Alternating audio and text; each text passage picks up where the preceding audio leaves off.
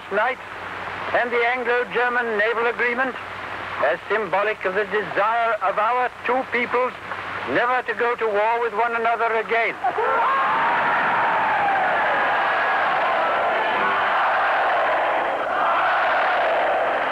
I know that it is in Germany's and the world's interest to have 25 years of peace. We love peace more than anybody in the world. I want to send a message beyond the mountains and the seas, a message of peace. It is the immutable policy of the Japanese government to promote peace.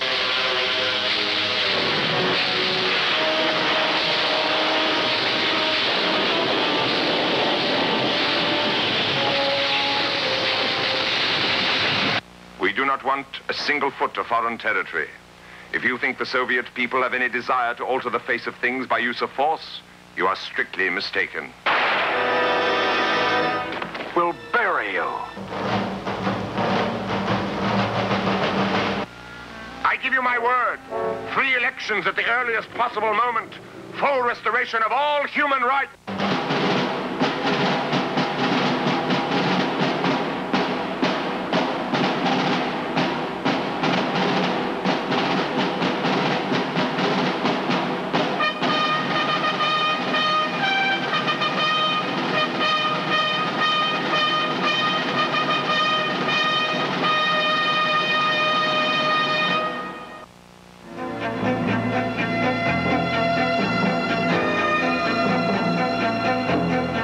Personnel strength continued to grow, as did our national leaders' confidence in the capability of SAC to carry out any mission.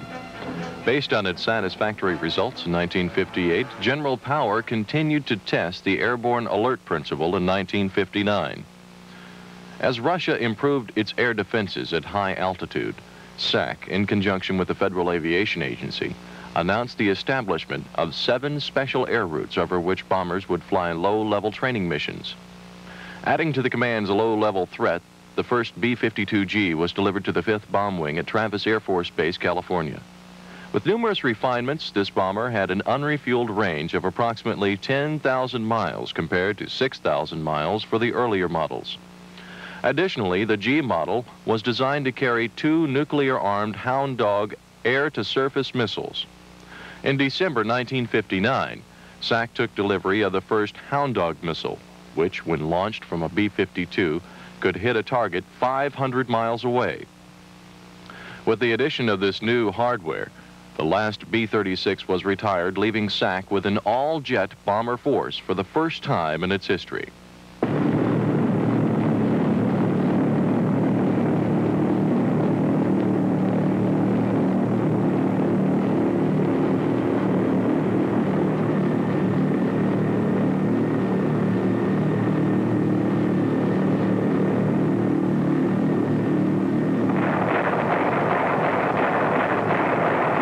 The B-36 Peacemaker was sent to the boneyard, never having to drop its payload on an enemy.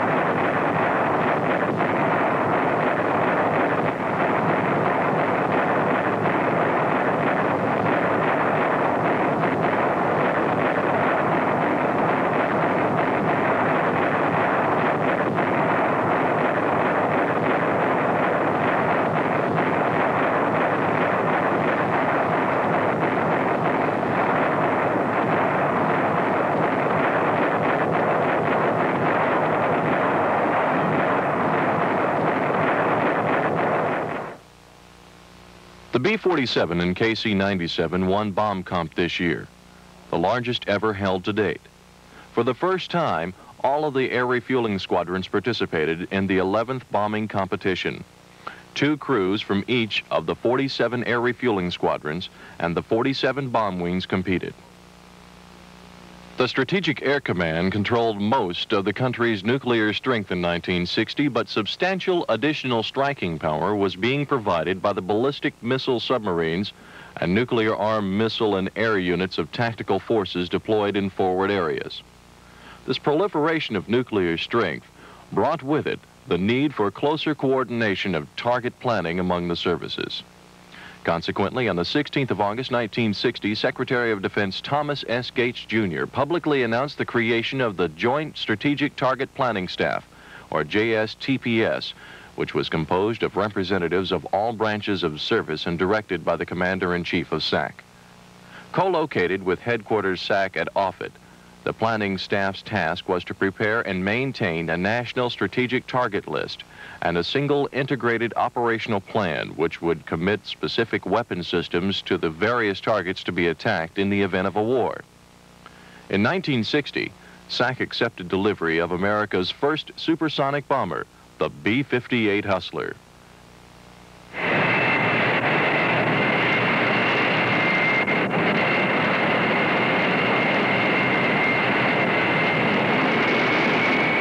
Well, that was quite a day I had there.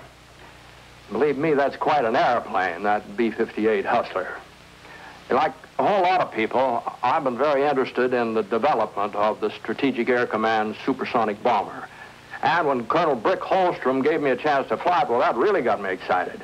After all, the bird flies Mach 2. Now, Mach 2, that's two times as fast as the speed of sound. Also during 1960, the first Quail missile was delivered to SAC. This air-launched missile would be carried aboard a B-52 and launched en route to the target, confusing the enemy radars.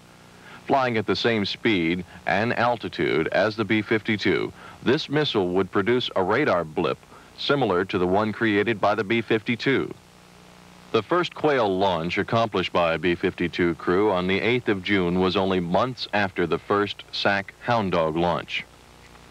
Three years after the concept was devised, SAC achieved its goal of maintaining one-third of its bombers and tankers on 15-minute ground alert. With its bombers and tankers on ground alert, SAC began testing an airborne command post at Offutt, placing one of five specially modified KC-135s on ground alert. These aircraft were periodically tested to determine their ability to be airborne in 15 minutes with a SAC general officer on board. Once airborne, the general officer and a team of controllers and communications experts could assume control over the SAC combat forces in the event of an enemy attack destroying the underground facility at Offutt. The 12th bombing competition saw the B-58s entered for their first attempt at the Fairchild Trophy and the first presentation of the Saunders Trophy for the Best Air Refueling Unit. Named in honor of Brigadier General Donald W. Saunders, the 310th Air Refueling Squadron received this new trophy. During 1961, the Strategic Air Command transferred its C-124 aircraft and its airlift functions to the Military Air Transport Service and the Air Force Logistics Command. President John F. Kennedy called for one half of SAC's B-52s and B-47s to be placed on 15-minute ground alert status. This task was accomplished in three months. The president also recommended additional funds for the B-52 Skybolt, an air-launched ballistic missile, while decreasing funds for the B-70. The B-70, a Mach 3 bomber, was being developed to replace the B-52.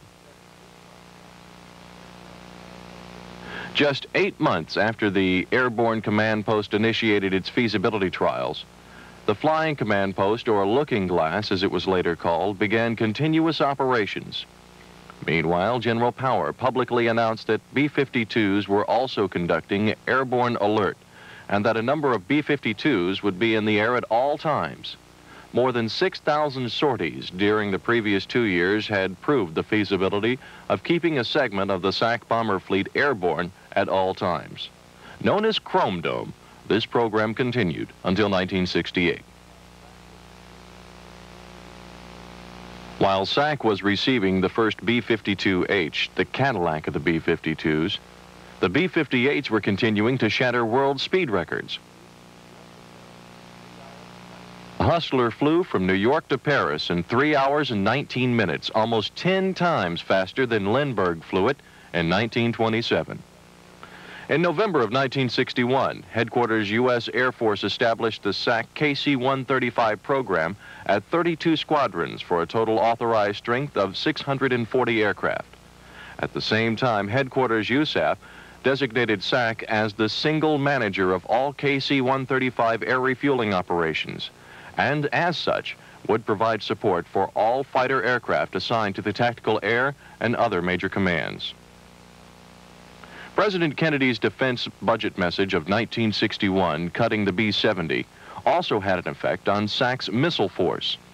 Even though the Atlas D&E programs were completed and the first Minuteman wing activated, the Snark, the Mobile Minuteman, and the Titan II missile programs were cut. SAC started 1962 with another world record when a B-52H from Minot Air Force Base broke the distance in a straight line record when it flew from Kadena Air Base, Okinawa to Torrejon Air Base, Spain, 12,532 miles unrefueled. A B-58 broke three world speed records just two months after the B-52's record flight when it flew a round-trip flight between New York and Los Angeles in 4 hours and 41 minutes. The most impressive phase of the flight was from Los Angeles to New York, covering the distance in 2 hours and 1 minute. The B-58 averaged almost 1,215 miles per hour. This flight earned the three-man crew SAC's eighth Mackay Trophy, the first Bendix Trophy, Distinguished Flying Crosses, and congratulations from President Kennedy. Besides setting these records, SAC reached another milestone in its 16-year history with the delivery of the last B-52H, the last three B-58s, and cancellation of the B-70. 1962 was the first year since 1946 that there was no bomber being produced or developed for the Strategic Air Command. The XB-70 was the only bomber-type aircraft under development, and it had been excluded from consideration as a bomber. In September, an Air Force recommendation to expand the XB-70 program into a full-scale weapons system development was rejected by the Department of Defense. The Skybolt air-to-surface missile to be carried on the B-52 and British Vulcan bombers was canceled as a replacement to the Hound Dog. President Kennedy cited the considerable expense of the Skybolt program and successful development of other weapons as the factors influencing his decision. In 1962, President Kennedy called on SAC's power and professionalism to squelch the most potentially dangerous situation facing the United States since World War II. With the Russian buildup of offensive-type weapons in Cuba, SAC's operations were beginning to be influenced several days before President Kennedy revealed the exact nature of the threat to the American people. A SAC U-2 reconnaissance plane flying over Cuba on the 14th of October 1962 obtained the first photographs of Soviet intermediate range ballistic missiles being installed there.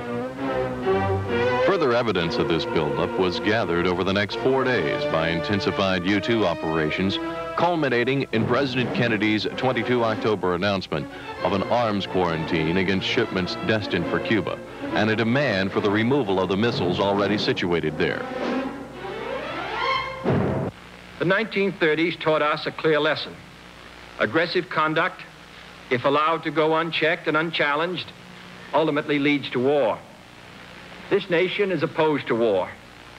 We are also true to our word.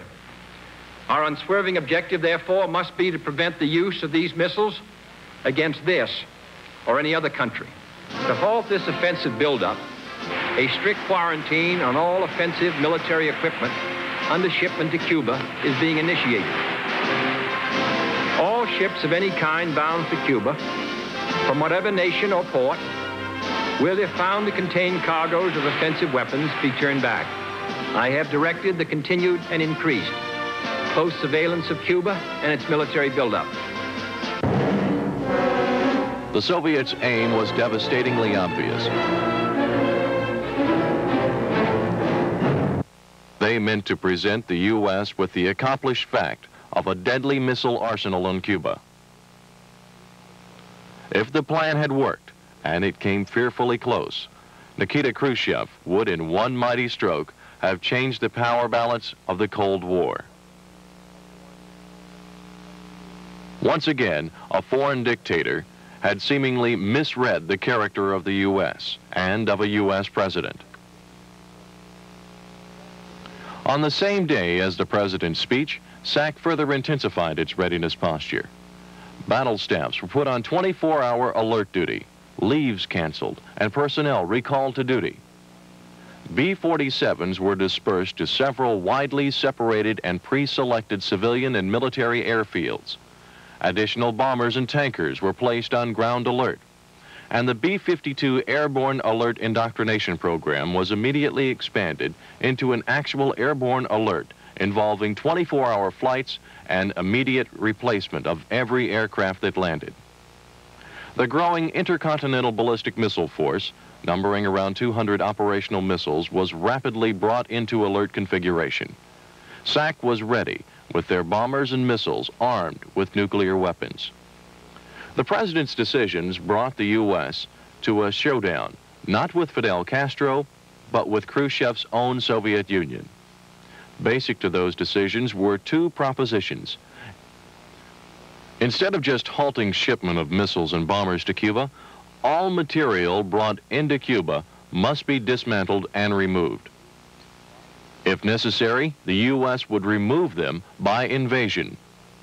Any aggressive act from Cuba would be treated by the U.S. as an attack by the Soviet Union itself. The U.S. would then retaliate against Russia with the sudden and full force of its thermonuclear might. SAC's RB-47s and KC-97s joined other forces in the gigantic sea search for Soviet ships bound for Cuba. The 825,000 square mile search area exposed 1,500 sightings.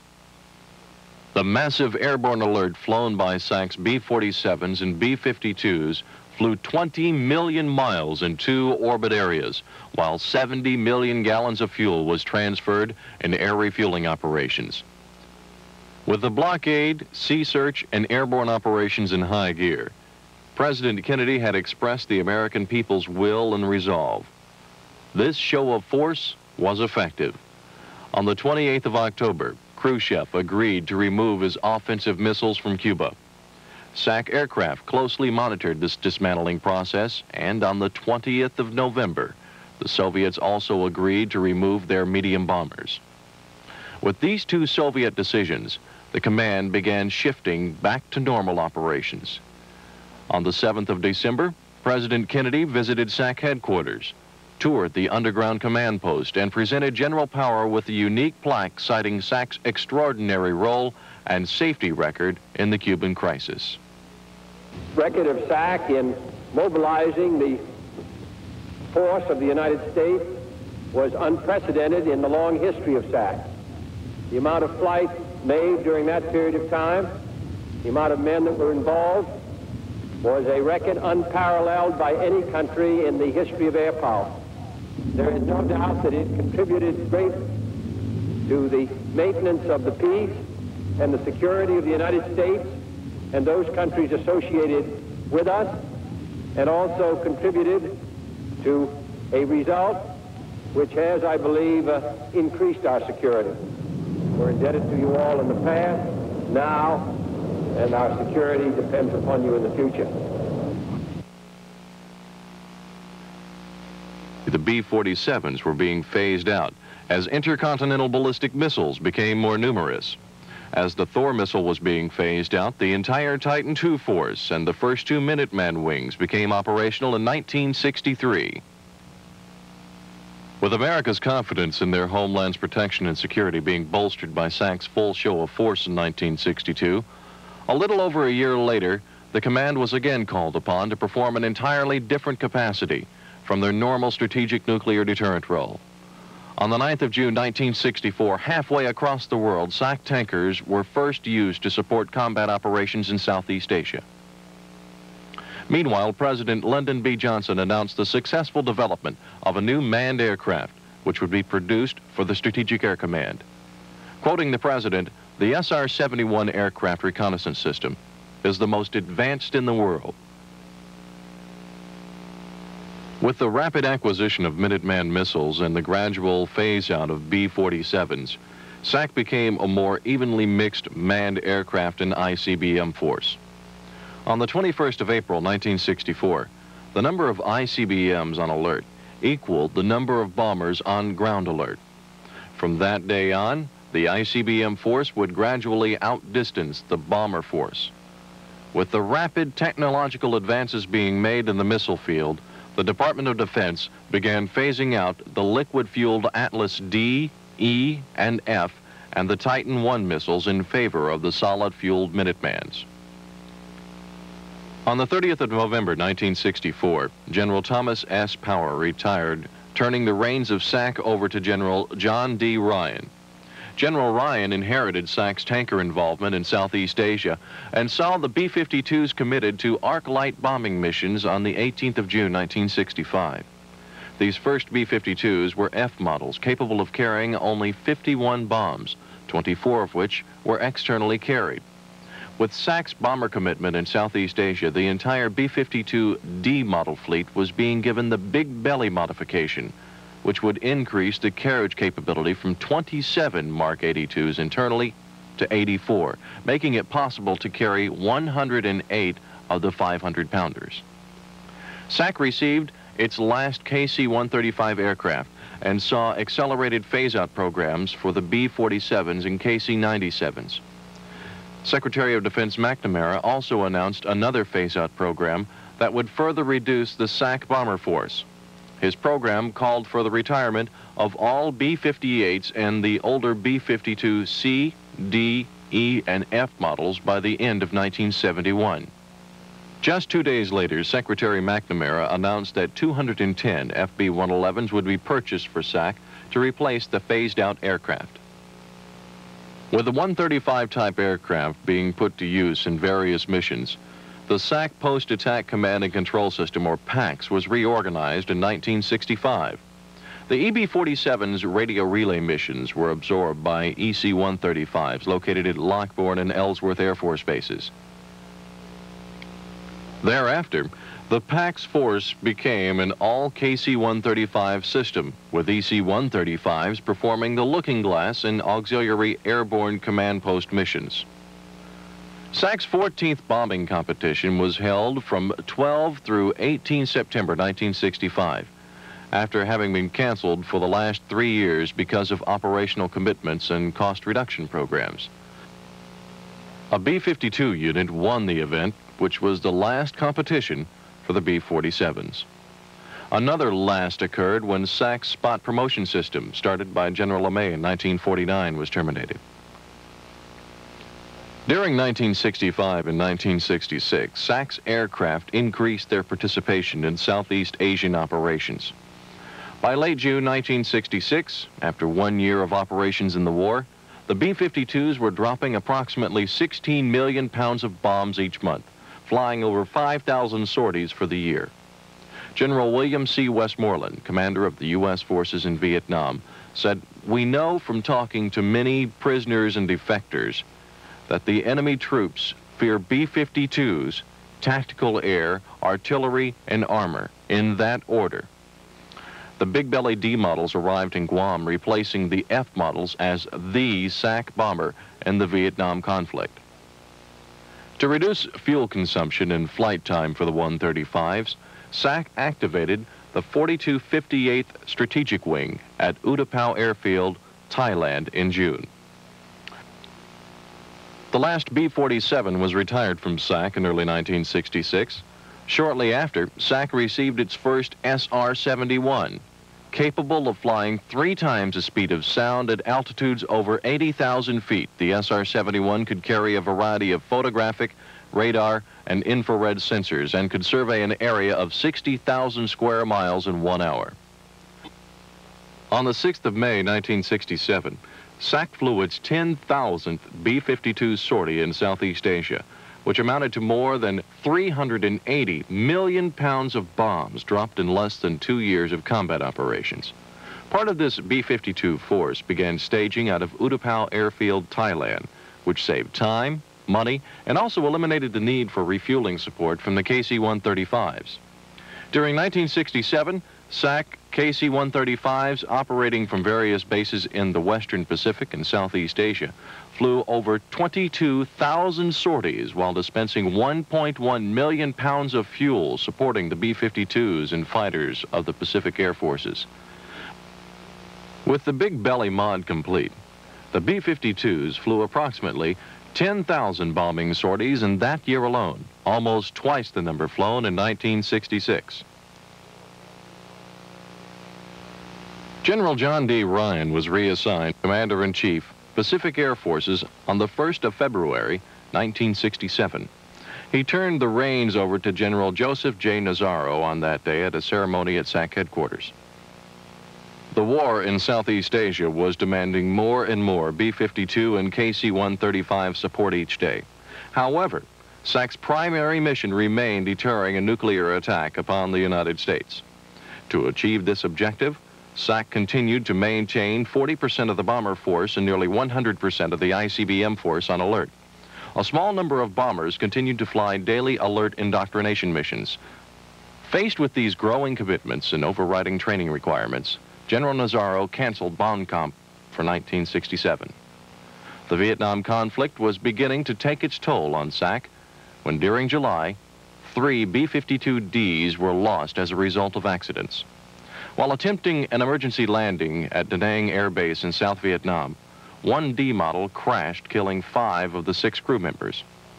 Just one day prior, two D models collided in the air over the South China Sea. Among the six casualties was a commander of the 3rd Air Division, Major General William J. Crumm.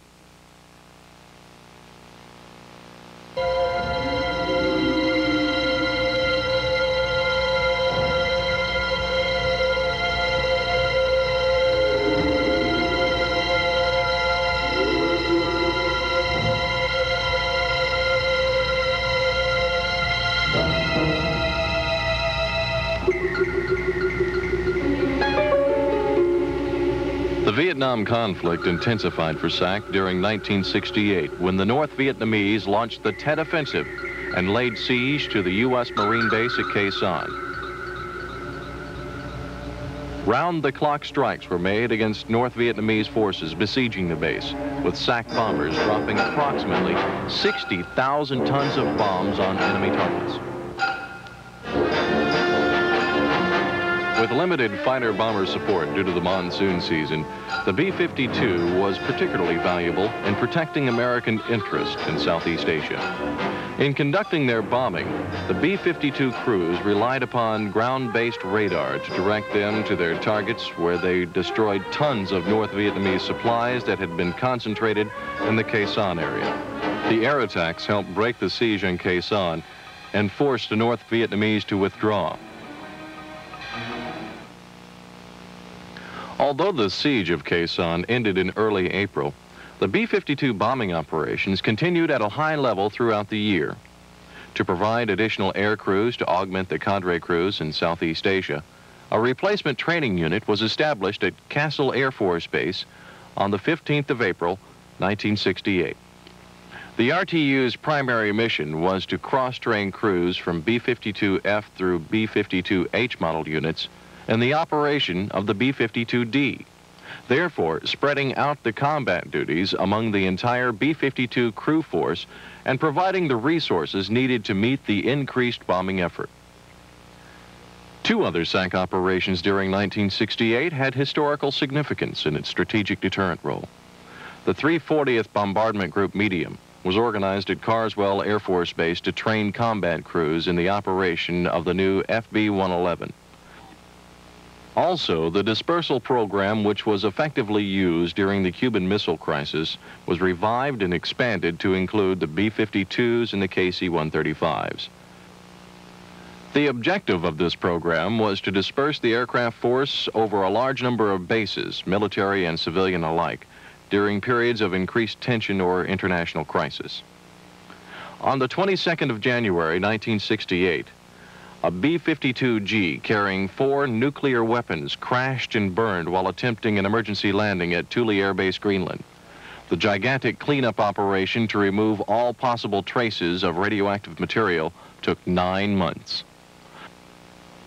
Another accident in 1966, a mid-air collision between a weapons-loaded B-52 refueling with a KC-135 over Palomares, Spain, put the airborne alert concept in jeopardy. The high cost of maintaining a portion of the SAC bomber force constantly flying alert, the advent of a responsive and survivable ICBM force, and these accidents led to the suspension of airborne alert in 1968. However, the concept was still available for increased readiness postures. General Bruce K. Holloway assumed command of SAC on July 29, 1968, after General Nazzaro was reassigned to Pacific Air Forces. General Holloway continued bomber and tanker operations at a steady pace in Southeast Asia during 1969, with Utapao Airfield in Thailand being converted from a forward to a main operating base for B-52s. SAC's support of tactical fighters continued to account for the largest number of tanker missions. Expanding upon the dispersal program concept, a new satellite basing program began in 1969. B-52s, KC-135s, and air crews were sent to other bases to pull alert, increasing the potential enemy's targeting problem while reducing the time required to get the entire alert force off the ground. The first FB-111A was delivered to Carswell Air Force Base, representing the first new bomber the command had received since 1962 when it accepted the last B-58. Only months prior, Secretary of Defense Melvin Laird announced that the FB-111 program would be reduced to four operational squadrons of about 60 aircraft because it did not meet the requirements of a true intercontinental bomber.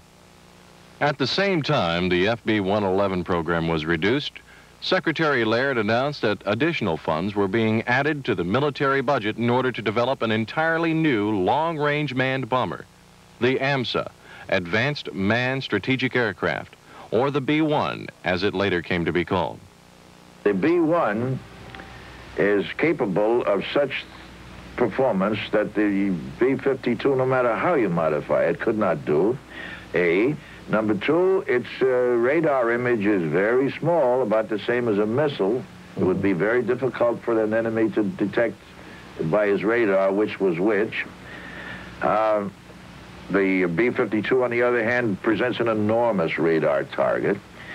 Uh, it can fly at low altitudes, but not as low as the B-1 can do. Uh, this is what we need to have in the program now so that come 1981 or 2, we shall have that there.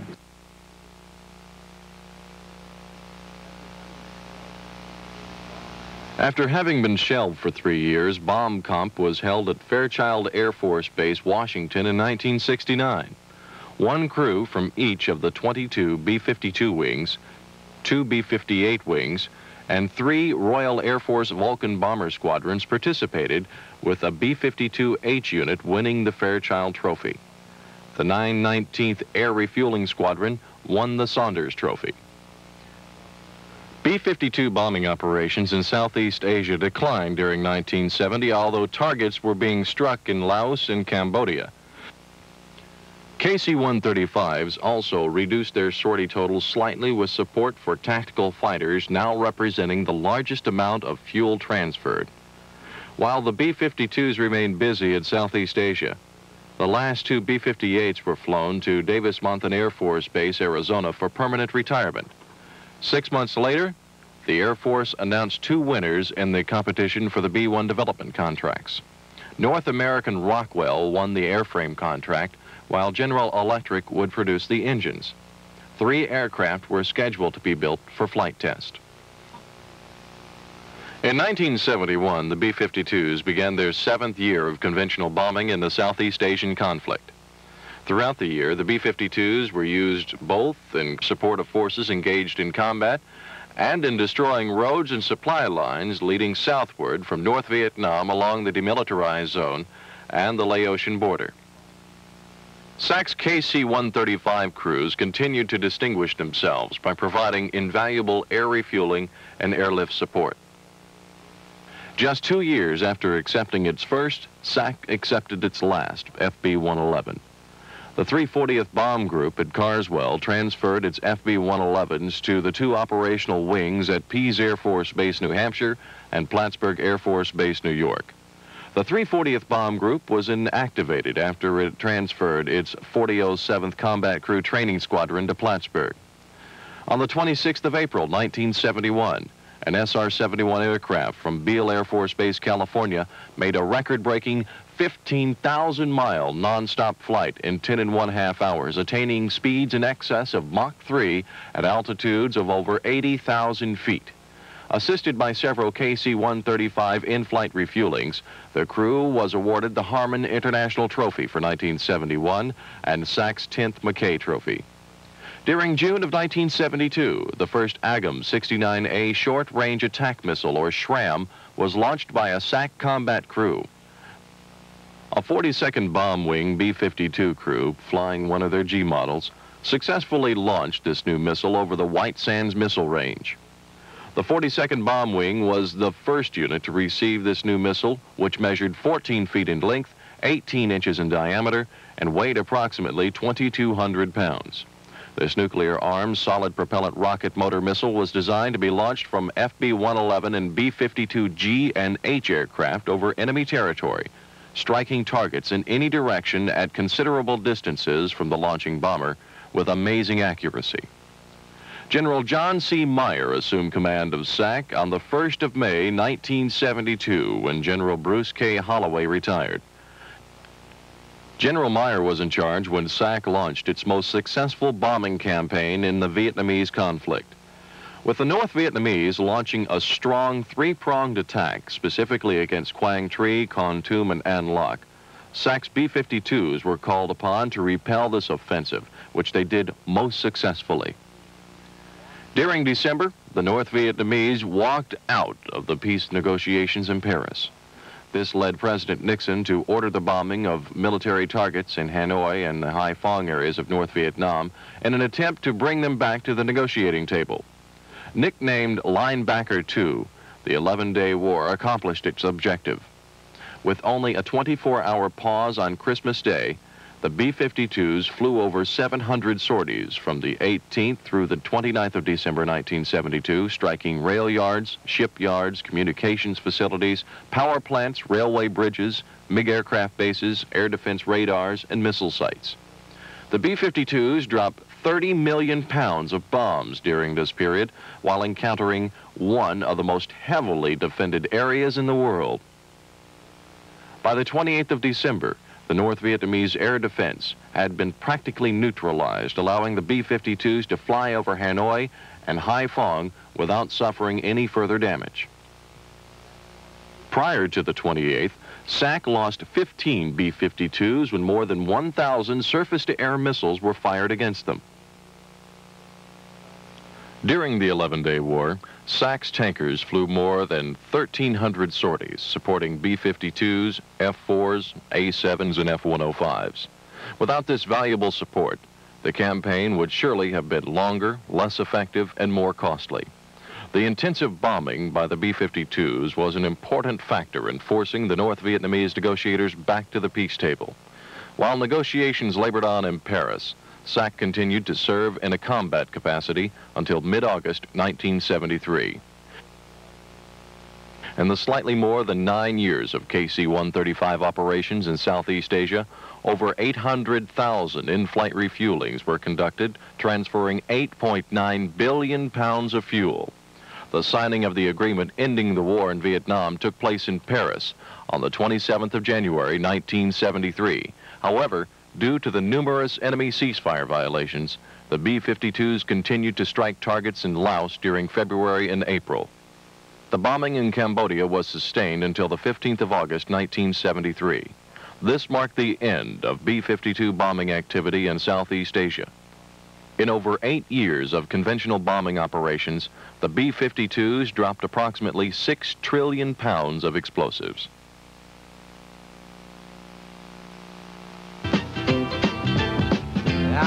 Coming home, I've done my time.